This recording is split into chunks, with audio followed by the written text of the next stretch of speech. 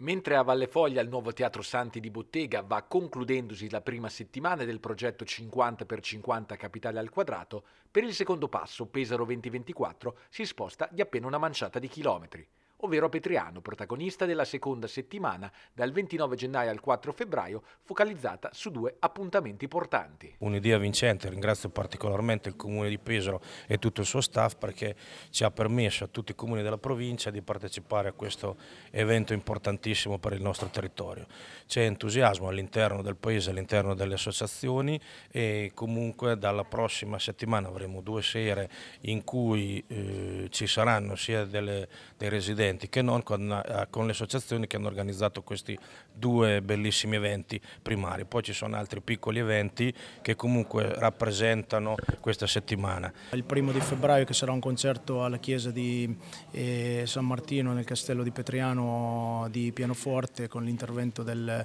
coro polifonico Incanto e poi la serata del 3 di febbraio eh, abbiamo un'edizione speciale del Gallo d'Oro, del Festival di Gallo d'Oro, lo facciamo a Gallo, al centro sociale alle 9, è un festival per noi molto molto importante, quindi lo vogliamo riproporre e lo vogliamo fare partecipare a questo evento di Pesaro, Capitale della Cultura. La serata racchiuderà un po' le caratteristiche del nostro festival che normalmente si svolge a luglio